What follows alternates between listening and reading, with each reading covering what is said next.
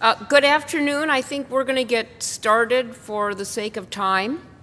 I'm Margaret Hedstrom. I'm the Associate Dean for Academic Programs and Professor at the School of Information at the University of Michigan. I'm also the Project Director and PI of SEAD, Sustainable Environment Actionable Data, a recently funded NSF DataNet project uh, that started on October 1st of this year. Um, also joining me from our team is Robert McDonald. He is the Associate Dean for Libraries at Indiana University and Associate Director of the Data to Insight Center. Um, and Robert is a senior staff on the project. Um, I'm going to start by giving you a little overview of our inspiration and aspirations, um, what some of our thoughts are motivating our approach to uh, the DataNet call for proposals. And then uh, Robert's going to talk more about how we are going about developing infrastructure to support uh, integration of data and um, long-term preservation and access. Uh, for those of you who are not familiar with the NSF DataNet program, uh, it was a very broad call that came out, well, it seems like it was a decade ago, but I guess it wasn't quite that long, um, but five or six years ago, actually, uh, looking at uh, um, new types of organizations was one of the uh, aspects of it that would uh, integrate infrastructure development, libraries and archives, computer and information science, and domain science expertise to build uh, the capacity for reliable digital preservation and access for science and uh, engineering data over decades long time. Um, the part of the ideas were to continuously anticipate and adapt to change in both the technologies and users' needs and expectations. Um, and one had to be pretty forward thinking to anticipate that it would take three or four years to get an award approved uh, by the National Science Foundation. Um, to engage in research to drive the leading edge forward, and to serve as components of what is envisioned to be an interoperable network of partners uh, providing preservation and access and other data services to scientists. Uh, I am going to really address um, the a little bit about the new form of organization, I'll say a bit about reliable preservation and access, anticipating changes in technology, um, and maybe just a bit about being an element in uh, a larger network. I am not going to discuss the engaging in research. Um, this is in part because in the course of the uh, second round of DataNet proposals, they were vastly reduced. The original program were to be $20 million awards. They've been now reduced to uh, $1 million a year for the first two years, and if we develop a successful prototype, there may be $2 million a year following for the next three years. As a consequence of that, all of the research that we had intended to fund directly as part of this program uh, is either not funded or people are going out looking for alternative sources of funding for the research.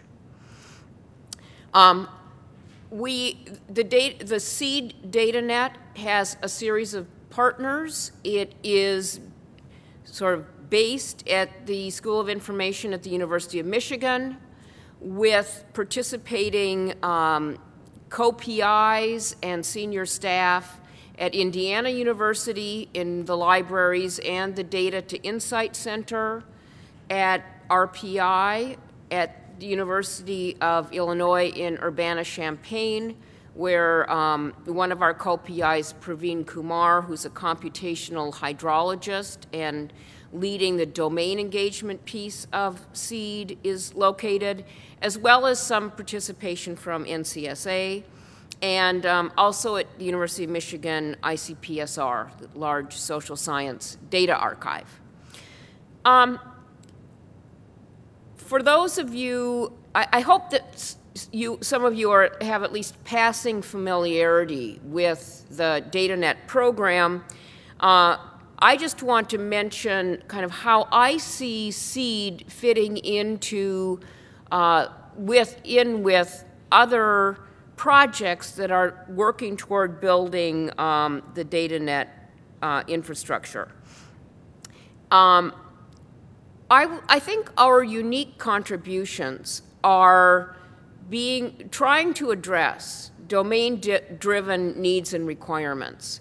Well, I would be a liar to say we didn't come into this with some preconceived notions about good ways to go about developing this infrastructure. We're very much um, letting the scienti scientific community, and in our case, that is sustainability scientists, I think, drive what it is we build, uh, what services we provide, how we evaluate them, and in many ways, how we engage more and more people beyond an original set of researchers that we'll be working with.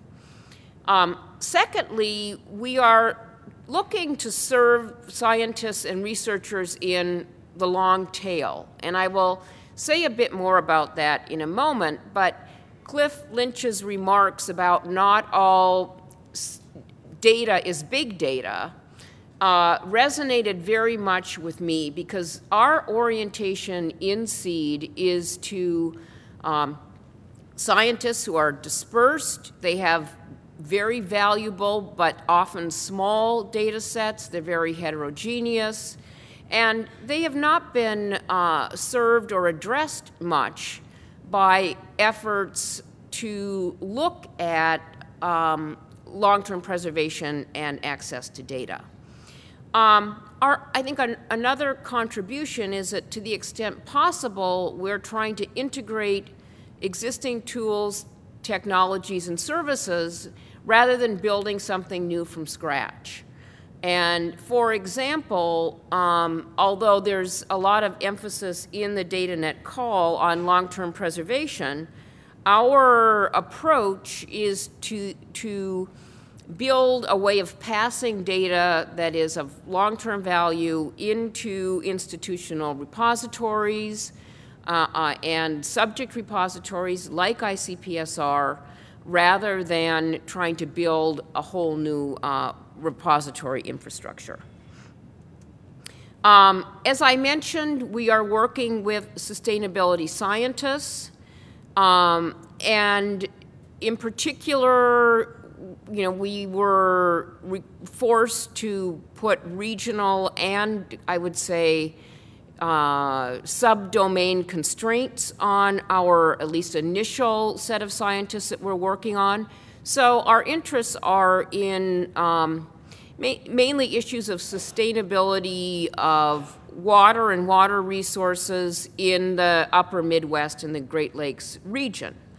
Um, we chose sustainability science because it creates some very interesting problems where researchers need to integrate data uh, and looking at it on multiple scales, uh, from multiple perspectives. We have multiple data types. And our goal is to provide a service that makes it possible to add value to those data sets, in part by making them easily discoverable, um, uh, in some cases being able to combine them in new ways or to do computation across heterogeneous data. So the kinds of data challenges we're facing is, is the heterogeneity.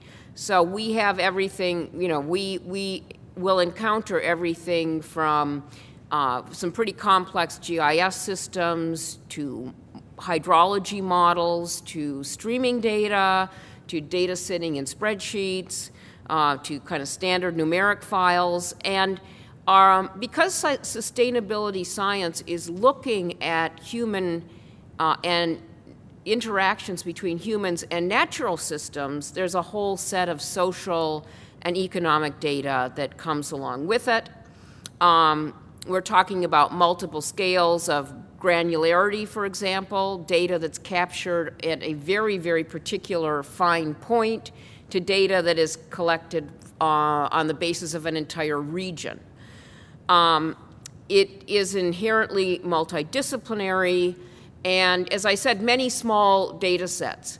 Uh, one of the things that we are going to focus on, in fact, are derived data sets where someone may have taken data from a very large data collection, um, selected data about a particular aspect of that, that uh, data set, combined it with some other collections, and created drive data that has um, it, you know, it's had a lot of time and effort invested in, in um, making it a useful resource for this community. Um, and uh, I, we, we're really driven by looking at kind of what are the economics of the long tail, the data out there in the long tail. As I mentioned, there are small and derived data sets, heterogeneous, there are many, many sources of data. So some of this data is coming from state and local governments, some of it's coming from individuals out in the field, some may be coming from you know, large standardized surveys. Um, and it become, these, these data become valuable when you can discover related data of relevance and combine it to address a particular problem. Um, and so that's, that's the, uh, the area in which we are trying to make a contribution. Um, now, just in terms of our overall vision, we are kind of we're, one of the things that we're trying to do is sort of develop a place between the researchers and their labs and where uh, with very low barriers to entry. Researchers can deposit data without strong metadata requirements. We will, um, we will secure that data for them. We will let them control the initial access to it. And using this idea of um, both social media and active social curation, as others become interested in the data and discover it, we will provide um, capabilities for things like um, commenting, recommending data, and possibly um, adding uh, metadata to it. Um, so we want to leverage social media. We're in the process of installing an instance of Vivo for our first um, set of researchers. Um, we are hoping to move data curation upstream in the data lifecycle, um, not necessarily by expecting researchers to make their data conform to long-term preservation requirements, but to get uh, a better mutual understanding of what it takes to curate data like this and um, what their specific needs are. Um, we want to involve domain scientists in setting priorities for the way SEAD evolves, and also, I think, for what kinds of data we actually invest in. Um, there's been, to my mind, too little discussion about uh, where, what data should we be focusing on? Uh, and there are, I think, illusions about we'll just save, we'll save everything, storage is cheap, um, you know, and I think things like the mandated data management plans almost push people toward um, at least saving data uh, and not necessarily focus an investment in all of the things that might be necessary to make that data useful, preservable, and accessible. Um, and then taking advantage of the existing infrastructures, as I mentioned. Um, I think I've mentioned most of these points about active and social curation.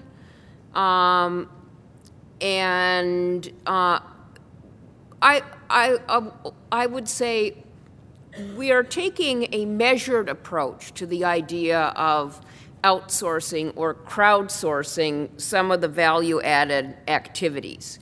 We're not expecting um, armies of school children to want to mark up uh, stream flow data from the Illinois River. But we do think that within a limited community where there are uh, where there's ongoing research and there's an ongoing interest, other researchers with expertise and a need for this data may make those kinds of contributions. And importantly, the idea of people reviewing and commenting um, and rating data, I think, is an important, um, has a lot of potential, I should say, to at least experiment with an equivalent to peer reviewing in the data world. Um, just quickly, our status we started um, the 1st of October, so we're in our beginning of our third month. Um, and we hope to have, we plan to have, we will have a working prototype uh, 18 months into the project, which hopefully will pass muster and then allow us to expand out.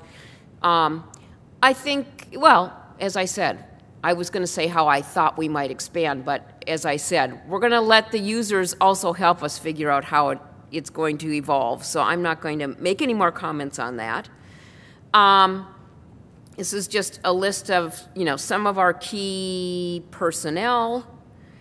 And um, my time is up. And so I am going to just acknowledge NSF for this and turn it over to Robert to talk a little bit more about the specifics. Thank you, Margaret. Just a quick switch here with my PowerPoint, and I'll be back on track here. All right. So quickly through this, but this takes you to our wonderful new website uh, if you want a QR code on that, and I've got one at the end. Um, but what I'm going to focus on really here is this uh, a little more detail about um, you know the lifecycle support, actionable data services, and what, what we mean by actionable within the SEAD uh, kind of ecosystem and how that's integrated with our curation, curation and preservation infrastructure. And I just want to thank all of my colleagues here, especially uh, Jim Myers at Rensselaer, Beth Plale at IU, Bryan Beecher at ICPSR. We spent a long time working on, on uh, this framework and, of course, retooling it every six months for a couple of years. And now, of course, we're kind of retooling it again to really mesh with, like Margaret said, the, um, the functional specifications that we have from our science partners. And um, so just a little bit about, you know, the challenges that everybody knows that are out there right now. You know, um, managed data storage and services are, are, are, not cheap. They're, they're quite expensive when they're managed. Now, if you can go get, a, of course, a terabyte of disk space and put something on it and not manage it, that's very cheap. It's very affordable. But really, the FTE and managing that piece and managing it within the enterprise uh, at scale is, is, is the component that we're going to be dealing with here. And uh, as our partners at ICPSR know, begging for metadata doesn't work. Actually, paying for it did work in a big project for them. Uh, but of course, we're not paying for metadata here. So we're going to have to use, um, uh, much like Cliff was talking about earlier, uh, the best in our machine uh, intelligence agents and processes to, to, try to sift through that metadata and, and enrich it over time uh, and capture as much as possible directly from the, the data source of the experiment. Um, the other big piece um, uh, that, that Margaret talked about is, is, the long tail is not standardized. We're, we're kind of uh, um, uh, working on the fly here in terms of uh, working in an agile process toward what we build to glue together the types of community source software that we want to use to, to put our, our final framework together. Uh, we know that the data models that, that we're working from this uh, will, will evolve over time. And we also know that, you know, every six months that cyber infrastructure picture changes.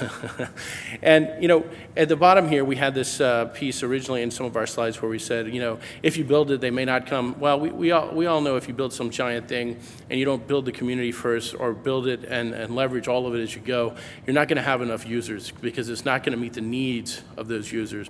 So that's a key component of what we're, where we're really working here with SEAD on trying to do that with our scientific communities, with the Illinois uh, River Basin um, uh, scientists.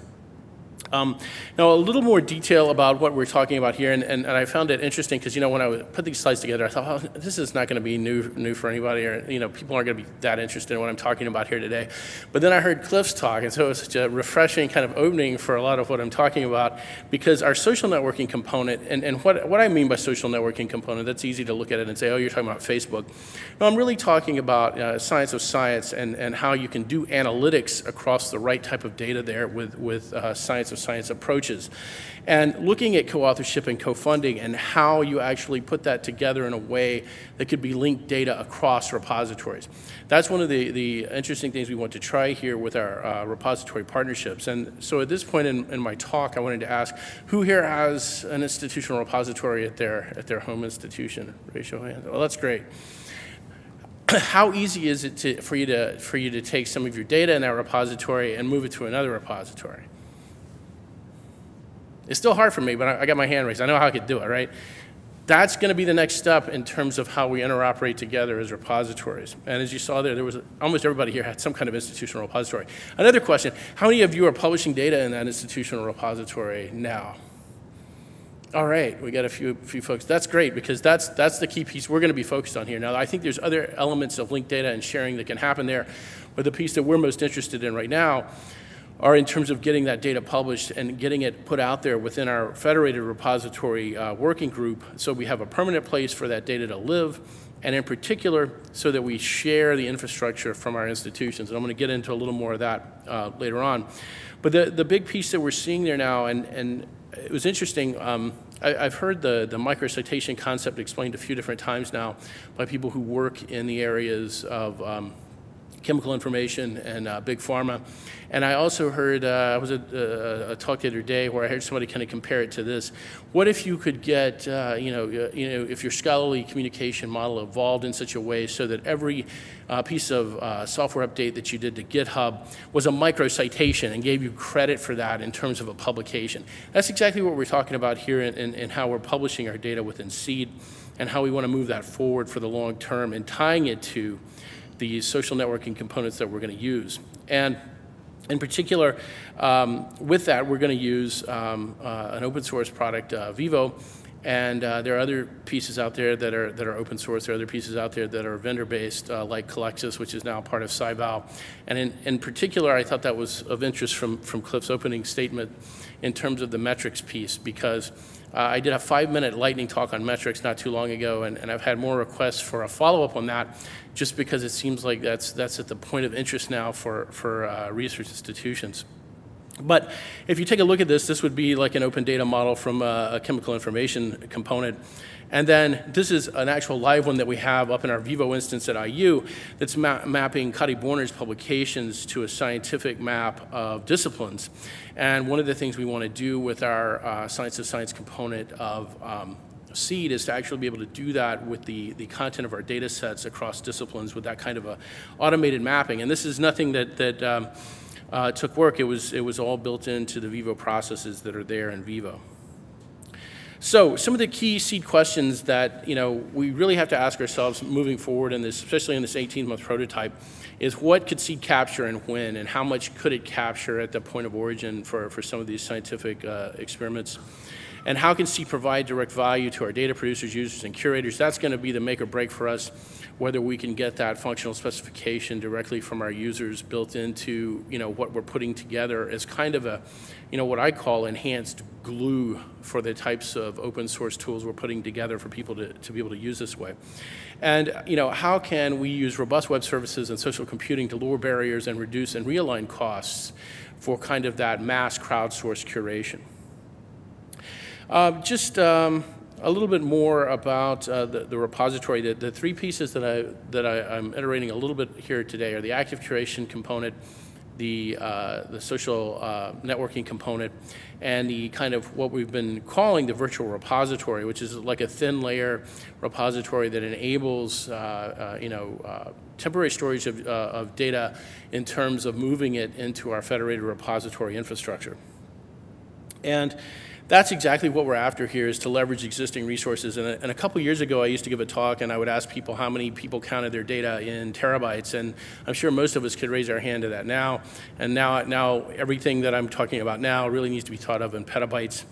And if we're not looking at leveraging existing infrastructure, and one of the key tenets of what we put together for SEAD always had been in taking a huge chunk of infrastructure both from IU, from NCSA, from UIUC, uh, now with uh, Rensselaer on board with their uh, computational um, uh, nanotechnology and innovation center, and seeing how that could provide a, um, you know, if you will, a cyber infrastructure layer to provide for the data throughput into the repositories for the long-term preservation of the content. And you'll see that the repositories we're working with are the Michigan Deep Blue, IU ScholarWorks, ICPSR's repository, and UIUC's IDEALS repository.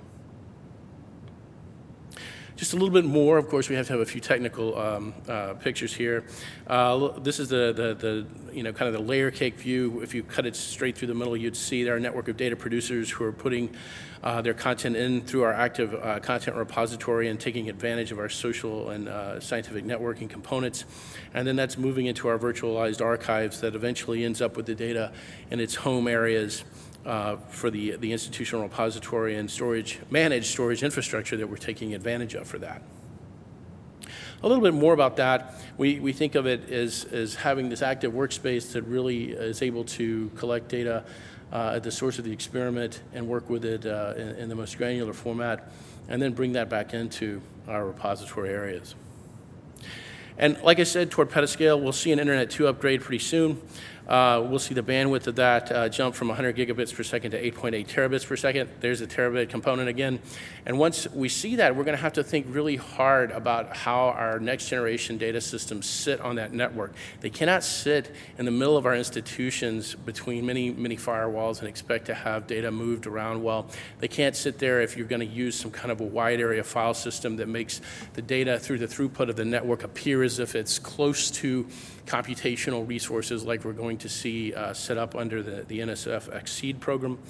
And moving a petabyte of data will hopefully go from around a 10-day prospect to a 25-hour type of prospect. And while our data in C doesn't exactly fit with this, our data actually causes other types of problems because it's lots of small files. It causes other types of problems for hierarchical types of storage systems in terms of compute power. We'll also see um, uh, the, the fact that we want to federate our repositories. And so, yeah, lots of repositories will have lots of small files, and that will end up being at a petascale scale once we start being able to share that a little bit better. So within our 18-month prototype, we're going to target uh, these key components of the active and social content curation. We'll have a pilot active content repository uh, using Vivo. We'll have an exemplar service for data ingest, discovery, reuse, and curation. And then within that, we'll also have our virtual archive for long-term access. Uh, We'll be uh, uh, having our data model in place, our protocol design development, and our pilot federated repository infrastructure in some sort of test in that 18-month period. And just a little bit to leave you with, I, am not going to read all of these because some of these Margaret covered, and some of these I've already covered in some of my slides, but to really reemphasize the, the key components, to have the community input on the agile development for what we build as services, uh, to have an active curation layer that actually pulls in data uh, as close to the experiment as possible and is able to derive from that um, uh, information about uh, who created it and what they're publishing and how that ties in with the rest of the scholarly communication stack. And then we'll leverage existing institutional resources for long-term access rather than trying to build resources ourselves. We're, we're going to actually tie in the, the, the, institutions that I talked about, existing resources in new ways. And I think we'll see, especially with this I2 upgrade, different types of data systems emerging at some of these uh, cyber infrastructure um, uh, kind of powerhouse places because they're going to build new types of systems that will be about data brokering, whether it's actually in moving data from one cloud to another, or whether it's actually uh, uh, getting the data close enough to a computational system. Um, the other big piece here is the sustainability and resource growth partnership and collaboration that we want to engender here for what we're doing. And a lot of that drives from the fact that uh, uh, our core cyber infrastructure team has worked uh, greatly with software development and in looking at um, uh, long-term sustainability models for that and how to build communities for that types of software. And the things that we're actually using here are, are actually already have communities around them that use uh, the software in other ways than what we're doing here with SEAD. But for the long term, we hope to uh, give back to those communities with what we um, actually build here from our scientific community input. And with that, I think we're ready for questions, and I hope we'll have really good questions and good input. We had a recent panel of data nets, and I walked the floor kind of like Phil Donahue, so I hope you're not going to make me do that in this big hall today. Uh, questions? Yeah. Yeah, um, well, you might, if you could go to a mic, it'd be great because they're recording it. Um, thanks. So you mentioned, I think Margaret mentioned that um, there's still an intention for the DataNet projects to form some kind of network, hence the name DataNet. But uh, could you say anything at all about how you think you'll be collaborating with the current and other recently funded projects? Is there anything happening with that, um, or any discussion within NSF about how that might work? Um, Is this on? Yes. Uh, I think there are two mechanisms that, that are in place, maybe not operational yet. Uh, In late January, there is going to be a meeting of the PIs of the data nets and the uh, interop projects in Indiana. Um, And that's going to be the first time that we've been formally brought together. It's a challenge. The call itself said, how are you going to interoperate with these other data nets, but you can't know what they are because no one knows what they are yet. Now that we know, um, you know, the finite number, what the goals are, I think um, we have, you know, some concrete basis for moving forward.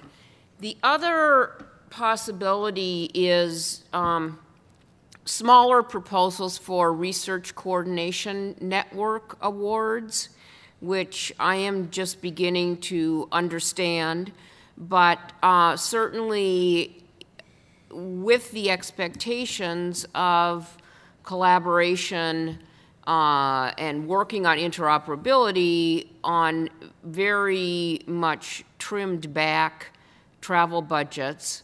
Um, you know, we're going to have to, I think, get some additional resources to have some workshops. I should also add that, um, you know, we want to, we, I, I think it would be unfortunate if the focus was only on the data nets and the interop projects. I think you know, there's going to be interoperability on numerous levels. And I think the piece that we're hoping to contribute to is interoperability between our service and institutional repositories. But I could see interoperability in lots of other dimensions as well.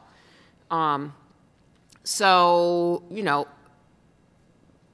well, those are the two, you know, initial, I guess, concrete things that I see, and maybe Robert has some more ideas. Well, I, also see another interoperability layer there from the next generation type of data utilities we're going to see that, that will be for, for larger, you know, much larger data, big data, and will help it either move around or get closer to HPC resources, but then that derived type of data, uh, finding a way for that to, to find long-term homes in our repositories is the only way to really leverage the, the resources that we have out there um, in, a, in a lot of ways for that. I think I should, just one other comment on this.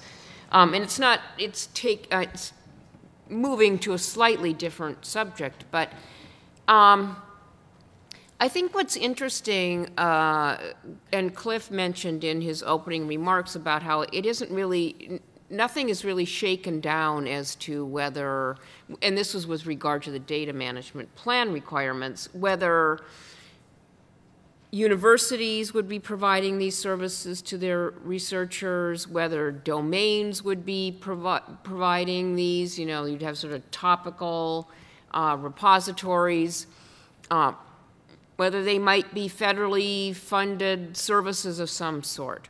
or commercial. Um, we're, we're looking at this in the sense that both, you know, Vivo has been deployed on an institutional level.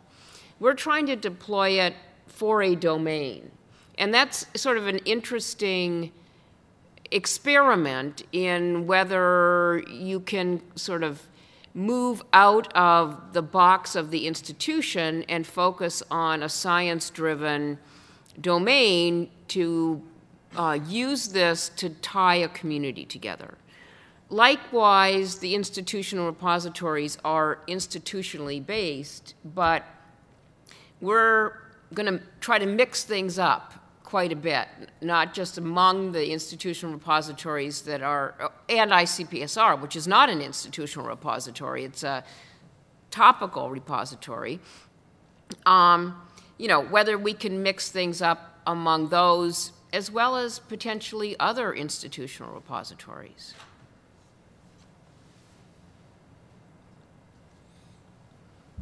That Jeremy? Yeah, I Jeremy. I see Jeremy in the back there. I was wondering what, uh, what you were saying about the interoperability with the repositories. What, um, with a very different kind of data, what issues you might be encountering or expect, or what measures taken to prepare those repositories to handle that kind of data and ensure it can be preserved? Um, so, one of the very first things we're doing, and we'll be starting on it next uh, month, is working with a particular uh, group of sustainability scientists at the National Center for Earth Systems Dynamics in, at the University of Minnesota. They are an NSF STC that is sunsetting. So they have data and the infrastructure that's been government funded to you know, collect and work with this data is going to go away. Part of what we're trying to do is extract um, a lot of information about their data types, their data models, uh, the data standards that they use, to get an understanding of that variety and heterogeneity. I look at the active content repository as kind of a soft landing zone for data that scientists may still be using a little bit, but they're kind of looking to give it up and hand it off to someone else to take care of.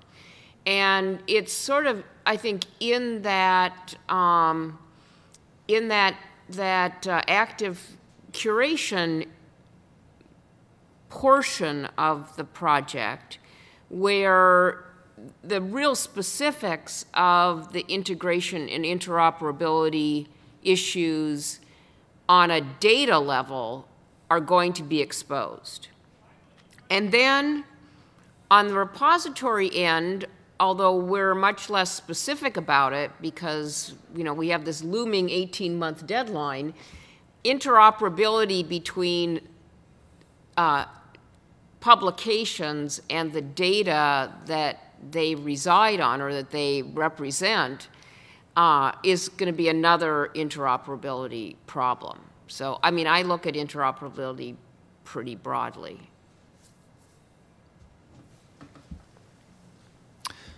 Hi, thanks for the presentation. It was great to hear about your project. I was wondering if you could talk a little bit about your plans for the prototype for public uh, access and discovery of what's in the repositories.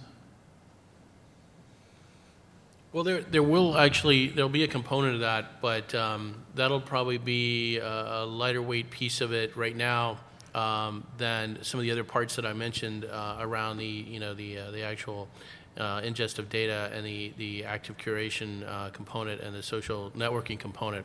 I think more of our discovery layer will eventually be derived from that social networking component, uh, but a lot of it will, uh, you know, of course, uh, take a little bit of work in, in uh, gathering that data first and then being able to do something with it in some kind of faceted approach that could then let you dig into it based on, you know, who published the data and, and how that works. But you know, I, uh, that eventually will be there, but it, it, that the, the, the core elements that we're working on, that 18-month timeline, will probably be less focused on that and more on uh, how we get the, uh, the data we need for the network components uh, for the actual researchers and how we tie that to the uh, uh, repository components. I think for the, um, the prototype, that access to the active content repository is going to be pretty restricted to um, a specific designated community, because this is data that, you know, may not be ready for prime time yet, uh, may have all kinds of other restrictions on it. Uh, When it passes the barrier from the active content repository into institutional repositories, certainly, you know, the public access dimension will, you know, very much come into play. And we have questions about, um, you know, what do the policies need to be around the active content repository that, you know, if you make it too open, it's a real disincentive for people to put their data out there because it's not really clean, or they might get scooped, or there are proprietary or, um, you know, confidentiality concerns. So, you know, as I, as I said, it's a kind of intermediary place for, to hold the data, to do some value-added activities, and to get a sense from the community itself who thinks this, val- this data is valuable and worth taking to the next step. Different question then. The, coming back to this relationship between um, disciplinary services and institutional infrastructure, in, in earlier um, runs at the DataNet program, sustainability was a big part of the projects. And, and I wondered if your project has any components of that still, and if not, how you're thinking about that, since this has been a big problem for us for a long time, trying to serve disciplinary needs with inf- institutional funding. Um, so the, I guess one aspect of this being the long tail is that the, this data dispersed among multiple institutional repositories and requiring relatively little curation after it leaves the active curation process. Um, from a cost perspective, uh, you know, an, an assumption I have is that it hides in there with lots of other little data sets. I don't mean it in quite such a, uh, you know, um, uh, covered manner, but um, our, you know, part of our assumption was that if institutional repositories are going to be part of the infrastructure, then we have to count on being able to rely on something. Now, we're also talking about redundancy so that we're not dependent on a single institutional repository. Um, but at this point, uh, having had, we had actually a whole, we had an entire faculty person devoted to looking at sustainability models. The funding for that is gone. Uh, you know, I would say at, until we get through the prototype, we don't have uh, focused resources to, you know, validate or challenge any of the assumptions we have about institutional repositories willingly and readily taking this on. Now, I will say that um, what I hear from the other direction is that many institutional repositories are interested in getting into the data business, but having some difficulty figuring out which data, which types of data, how to get the data, um, and I, I- guess I see us sort of greasing the wheels in that regard. So I, I think I mis, um, misasked that question because I'm not I'm not doubting that institutional repositories will continue to play a role in this. It's your active repository, the front end. Oh, the front end. That is a centralized service that your project is building and running. It, it isn't a distributed, federated thing, and it's aimed at a discipline. So I don't quite see yet how that fits into this ecosystem that we're talking about and whether you're planning to work on the sustainability of that piece of it. You see? Yeah. And I think some of that comes into play with, with the committed resources that, that we do have from, from IU and how we could put those toward what we've done in recent years, MOUs with other places like the Texas Advanced Computing Center and with Rensselaer on how we swap out data resources that are committed for the long term for this type of activity. Now, that being said, you know, how big does that have to get before the, the institution goes, oh, we, we can't do any more of that, right? Excuse me. Yeah, thanks for the clarification. I guess I would say one other piece of that, this is that for the curation work, adding metadata, finding errors, um, improving documentation, we are looking at a model of, you know, micro contributions by scientists themselves as they use this data. Whether that is uh, just a pipe dream or something that we can actually enable remains to be seen. But I think, you know, you've, you're, you're pointing to a very important potential weakness in this, in the fact that we have a grant to fund something that's supposed to be sustainable. My Kevin? question, uh, in a sense, follows on on that, but it also touches on something I think Robert brought out in his, his introduction about the, the issues of moving content uh, between repositories. In a sense, when, when sustainability goes wrong, as we've seen with a number of domain systems, you're forced to the problem of moving content around between different technical infrastructures and different organizational infrastructures. Uh, now, I, I'm aware that in your project you are looking at moving between these, moving content between the active curation domains and, and the institutional domains. It, what wasn't clear to me is whether you're also going to test out moving content between um, domains that are similar in function, but maybe different uh, technologically or organizationally. Let's say moving between institutions. So I know there's been a very small amount of work done on this, but I think not nearly enough, and we could do with a lot more knowledge. Yeah, I, I, I think that's something that we would like to have as, as a real opportunity, especially with, you know, like I mentioned, the upcoming Internet 2 upgrade, because there, you know, everyone always says, well, this is an answered question. Well, not if you really want the data moved in any, you know, normal amount of time, right? Or you didn't write it to disk and actually ship it through FedEx.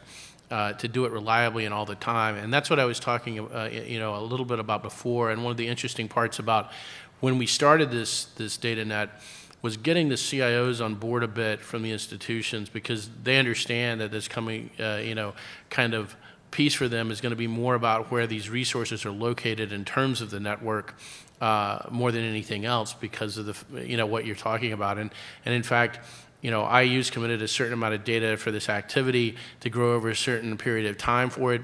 And I, I see us using that, you know, uh, with what we have now with our data capacitor and even uh, moving toward our next generation system, which is yet to be kind of uh, put out there yet. But, you know, its whole uh, modus operandi will be about uh, brokering data movement across networks at, at, at real scale. So I think there's a lot of opportunity for, for finding out more about what really needs to be there um, and, and making sure that we're able to do some of that with this project.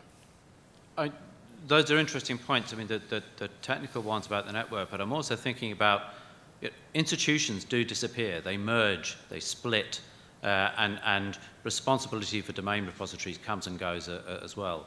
And we're then faced with challenges that are partly technical, but, but partly very, very different in trying to move content between entirely different management domains with different concerns. And often people haven't planned for that from the outset.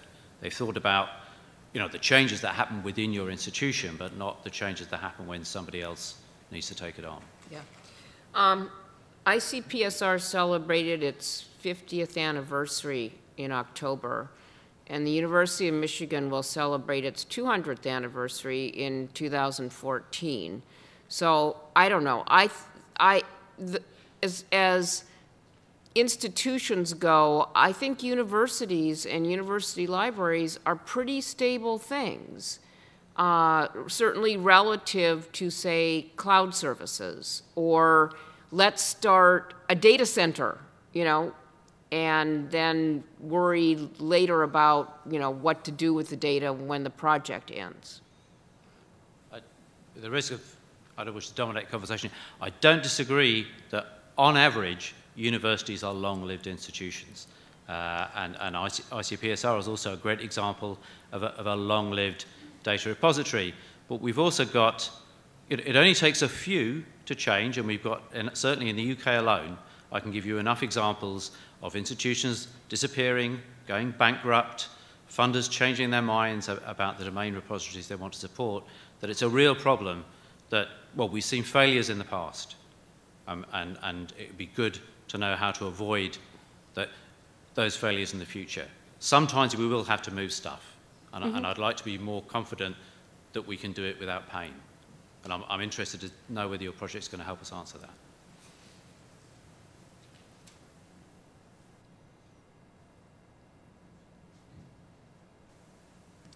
Uh, I was wondering if you are addressing on any of the usability issues behind uh, data preservation. You know, one of the inherent challenges with data is that uh, it's much more than bits and bytes that they come with uh, README files and contextual information. Interpretation is very domain, science specific and complex. So you could imagine that a data set would be readable 50 years from now, but it would not make any sense to those who want to use it in scientific sense. Right. Um,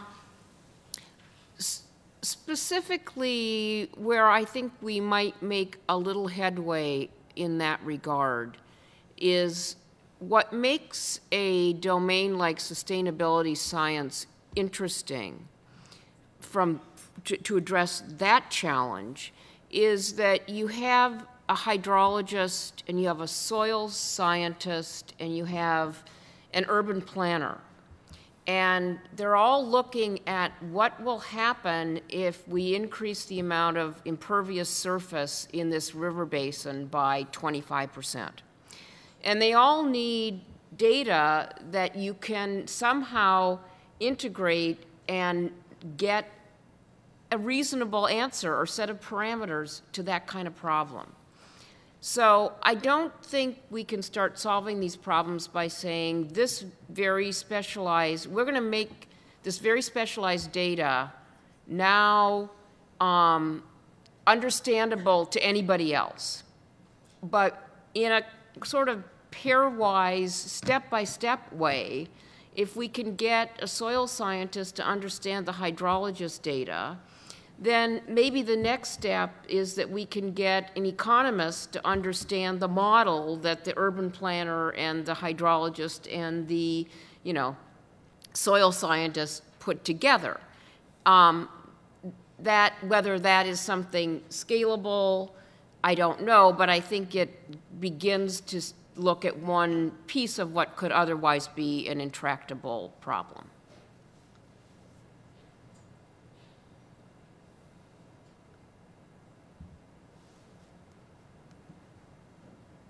Think we have time for one more question.